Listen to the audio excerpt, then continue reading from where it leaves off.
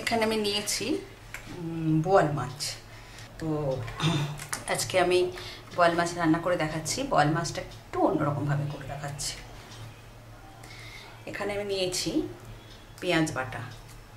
দু চামচ, দু টেবিল স্পুন পেঁয়াজ বাটা। যেহেতু মাছটা বেশি, দু টেবিল স্পুন পেঁয়াজ বাটা।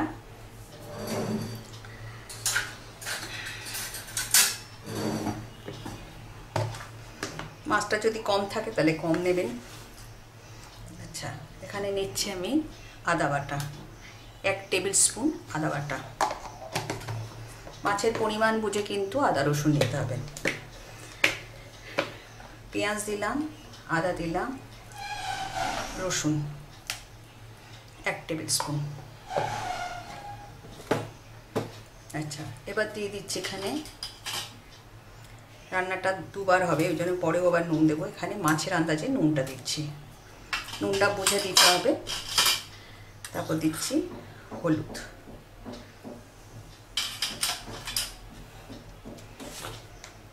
জিরে গুঁড়ো। এক স্পুন মতো জিরে গুঁড়ো। এক স্পুন ধনে গুঁড়ো।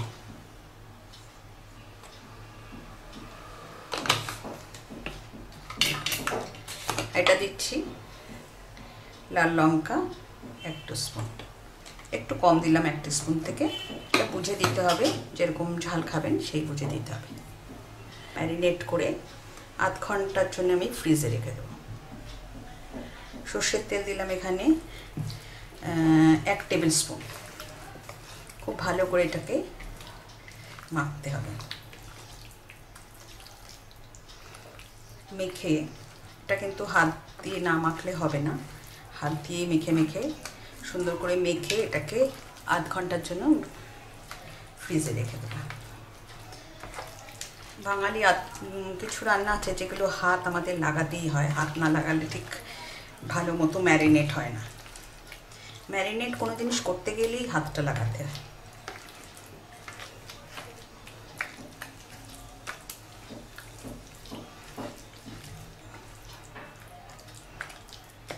এবার এটাকে ভালো করে ঢেকে আমি ফ্রিজে রেখে দেবো।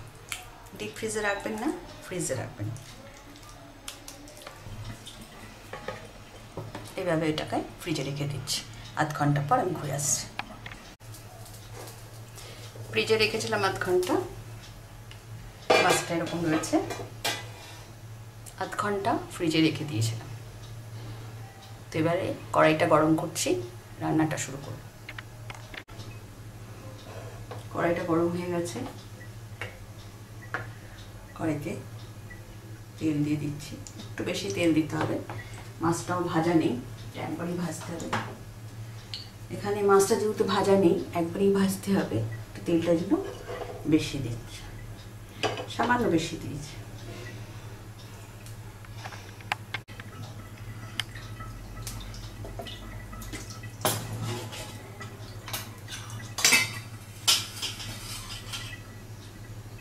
গোটা জিরে দিয়ে দিলাম।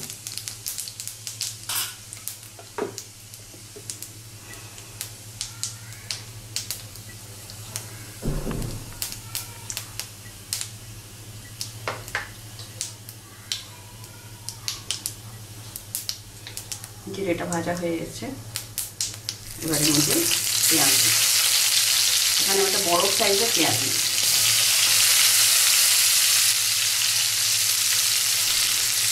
বড় সাইজের পেঁয়াজ নিয়ে নিয়েছি।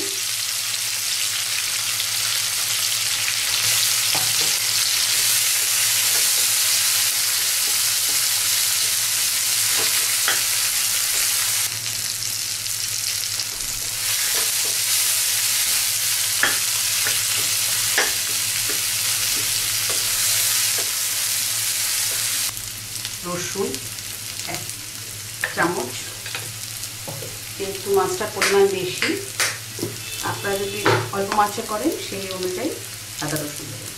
আদা এক স্পুন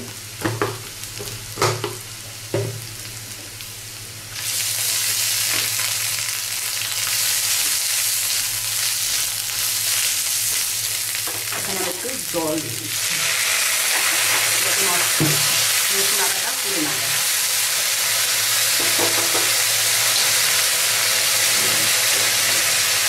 লঙ্কা হাফ চামচ হলুদ গুঁড়ো।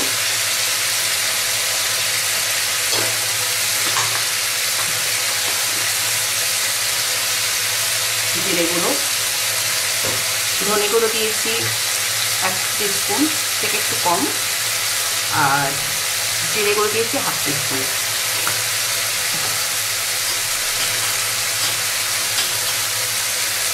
হলুদ হাফ স্পুন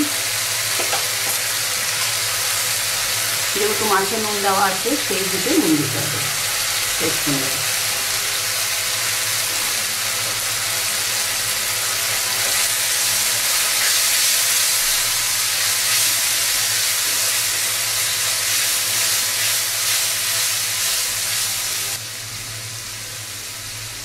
দিলাম একটা টমেটো।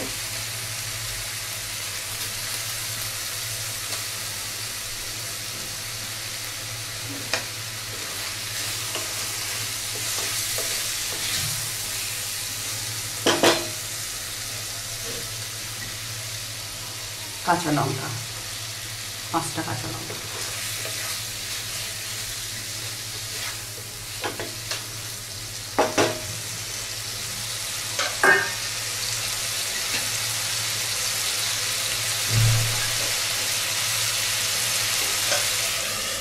একটু ঢাকা দিয়ে দিয়ে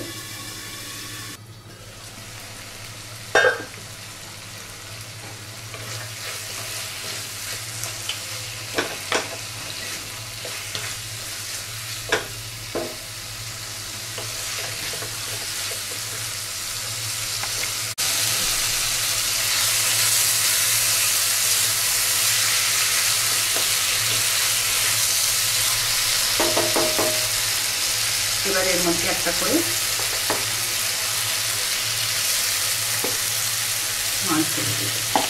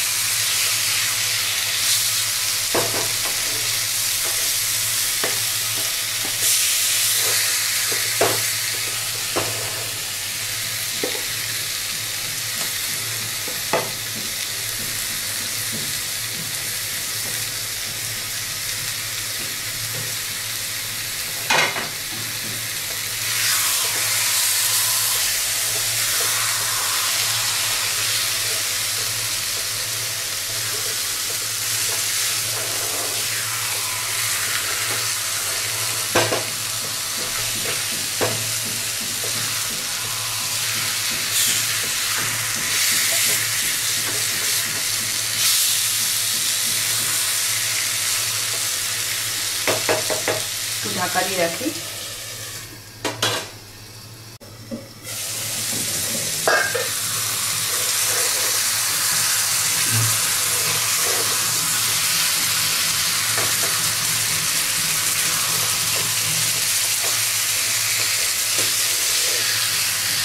যেহেতু মাছটা কাঁচা আছে, ভাঙার ভয় নেই, তাও একটু আস্তে আস্তে করলে ভাজা থাকলে হয়তো ভেঙে যেত।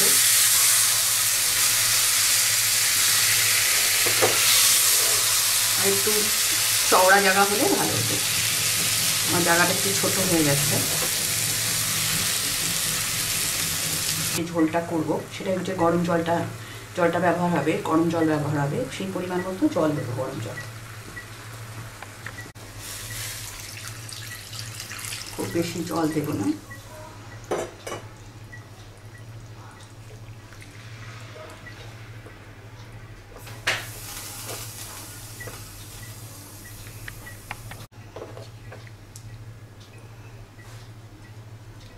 রান্না মোটামুটি হয়ে এসছে। এবার এটা আমি ফুটতে দেবো কিছুক্ষণ। একটু ধনে পাতা দেবো, দিয়ে ফুটতে দেবো। তারপরে নামিয়ে কিছুটা ধনে পাতা দেবো। নুনটা চেক করে নিতে হবে এর মধ্যে।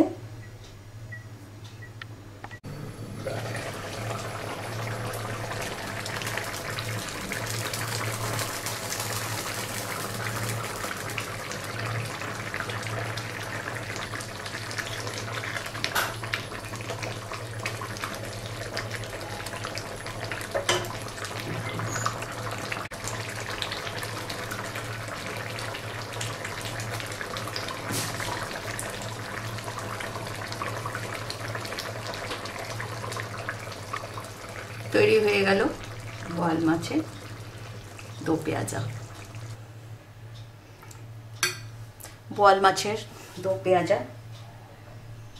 বলতে পারেন টমেটো। বোয়াল মাছের দো পেঁয়াজা। রেডি হয়ে গেল।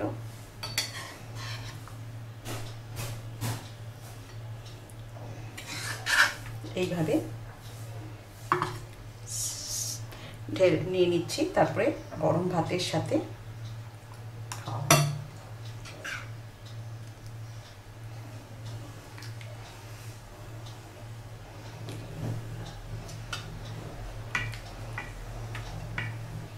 চেষ্টা করলাম একটু অন্যভাবে